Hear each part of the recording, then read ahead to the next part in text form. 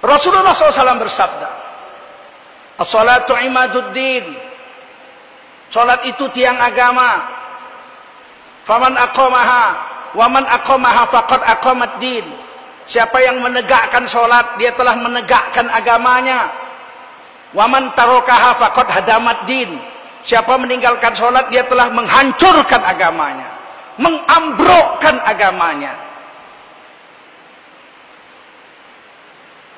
Kalau ada orang datang kemari ke masjid ini, bawa martil 5 kilo yang besar, dipecahkannya dinding-dinding masjid ini, dipukulinya pecah-pecah ini dinding masjid, maka kita ramai-ramai akan menangkap orang itu.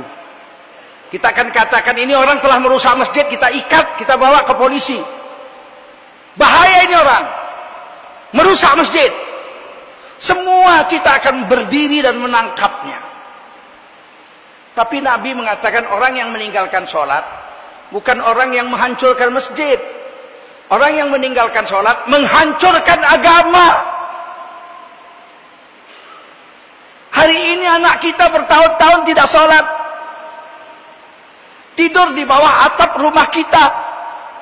Di sebelah kamar dinding tidur kita. Di sebelah kamar tidur kita. Bertahun-tahun tidak sholat sedang menghancurkan agama. Kita biarkan, kita kasih makan, kita sekolahkan, kita belikan sepeda motor, penghancur agama. Bagaimana kita mau tanggung jawab di hadapan Allah? Orang yang menghancurkan agama bukan kita cegah, bukan kita ikat. Malah kita sekolahkan, kita kasih makan. Kita berikan kesenangan hidup kepadanya. Hari ini kita harus menangis. Kumpulkan anak-anak kita. Wahai anak-anakku yang tercinta.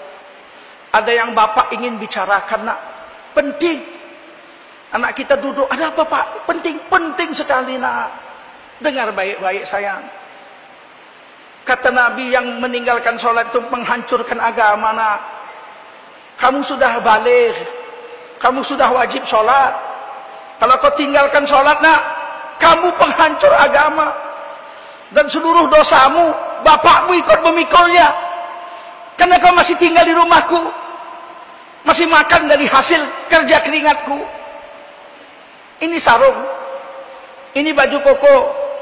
Ini peci. Ambil satu orang satu.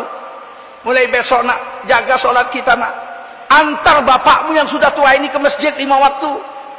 Jadilah kita penegak-penegak agama Jangan jadi penghancur agama nak. Kalau kau tinggalkan sholat nak, kau menghancurkan agama ini. Tidak ada dosa lebih besar. Daripada menghancurkan agama. Lebih besar dari menghancurkan Ka'bah. Ka'bah dihancurkan bisa dibangun lagi nak.